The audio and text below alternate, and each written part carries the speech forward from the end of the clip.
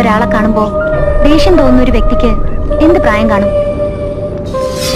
മിക്കവാറും അയാൾ ഒരു ചെറുപ്പക്കാരനായിരിക്കും. ബുദ്ധിഭ്രമം പോലെ എന്തെങ്കിലും ബാധിച്ചിട്ടുള്ള ഒരാളിന് മാത്രമേ ഇത്ര കണ്ണിങ് ആയിട്ടും ക്രൂവലായിട്ടും ഇത് ചെയ്യാനോ? അതായത് ഒരു സൈക്കോപാത്തിന്.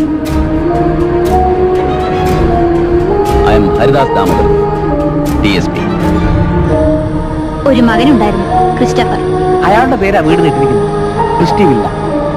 അവനും ഇല്ല. എവിടെയോ ഉണ്ട്.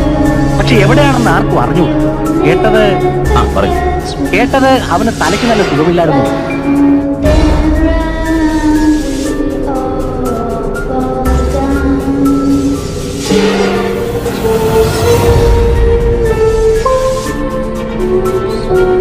ഒരു ഭ്രാന്തൻ കൊലയാളി നമ്മുടെ എല്ലാ ഇടയിലൂടെ സ്വതന്ത്രനായി സഞ്ചരിച്ചുകൊണ്ടിരിക്കുന്നു എന്ന് പറയേണ്ടി വരും.